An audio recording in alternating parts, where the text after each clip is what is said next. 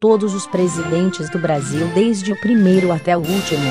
O primeiro presidente do Brasil foi Deodoro da Fonseca.